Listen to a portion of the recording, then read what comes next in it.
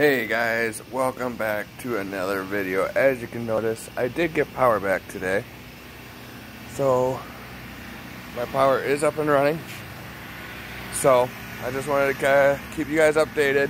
Um, if I can, I would like to show you the front, which I don't know if I can, but I can try, but it's not going to let me. It's kind of dark. You guys can't see, it's just pitch black. People do have power back now. As you guys can see, I think there's still somewhat of a mess, but there's still a pickup. And I did have to get a generator while I was out of power. It's been about a week. But live streams will be coming back. We are waiting for the internet company to come and reconnect the lines. But here's the generator I had to buy right here. Actually, I'll show you the box there's the generator I had to buy.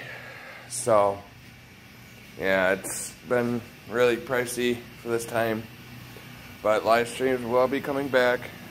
Trying to keep you guys up to date.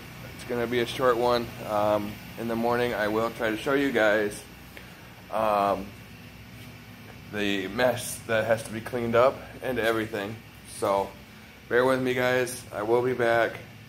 Show you love show your support, hit that subscribe button and the bell, turn on all notifications, notify you when I go live or upload a video.